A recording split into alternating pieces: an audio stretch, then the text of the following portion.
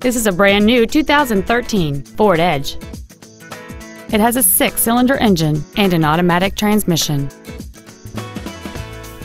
Its top features include a navigation system, a low tire pressure indicator, XM satellite radio, 18-inch wheels, and traction control and stability control systems.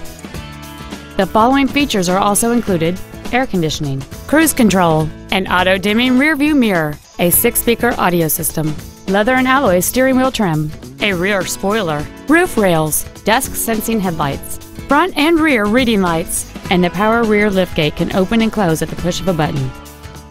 Contact us today to arrange your test drive.